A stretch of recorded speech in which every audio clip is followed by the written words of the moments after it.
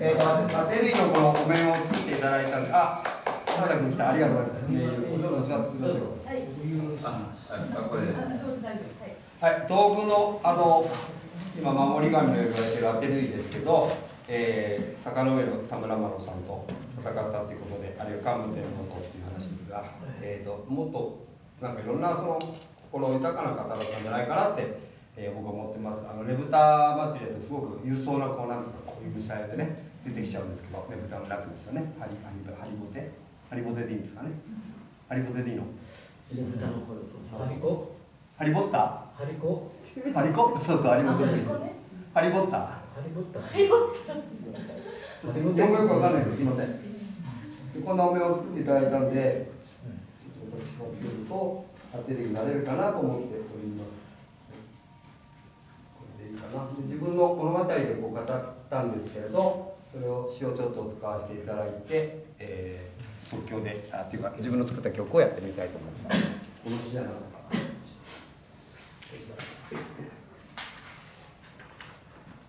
で2曲続けてお送りしますのでうまくやっていただければと。はいあのテーマと米白川米白川、で遠くは深い奥の方にね川が流れていると思い。ます。ではお送りしましょ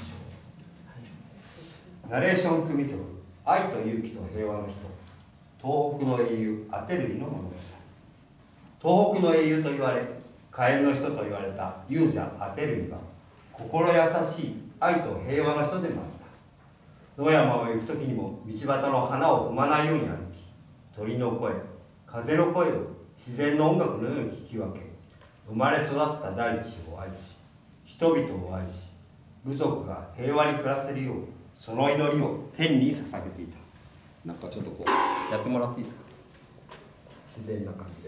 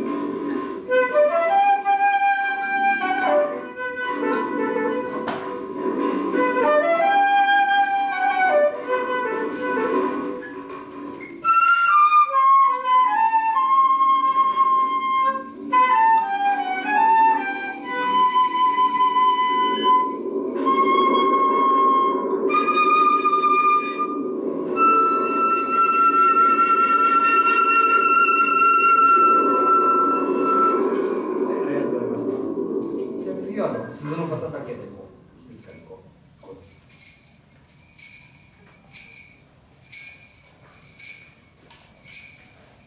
東北は深い。さまざまな人を養い、育てる力を持つ。多くの部族、民族が暮らし、豊かな緑と光あふれる平和を謳歌する。自然は緩やかで広く穏やかだが時に激しく大魔神のように荒れ狂う時もある歌います。大地を潤す。幾本もの大河はその象徴として偉大にして悠々と流れ時に人間の傲慢を戒めるかのように大反乱を起こす。四季を通じてさまざまに色を変えるその流れに我ら東北人は縄文の昔のような太古の郷愁を感じる一個ずつちょっと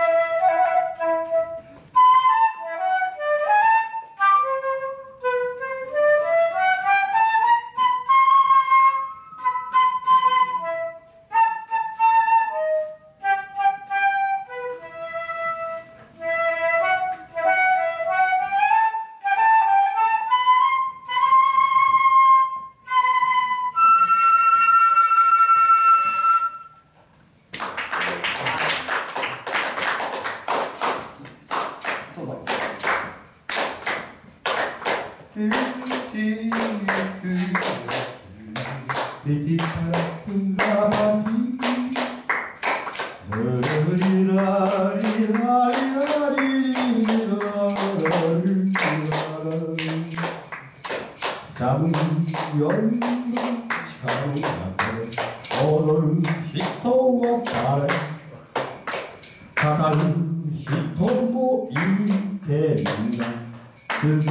合えるこんな夜はみんなで集まって暗い中でも人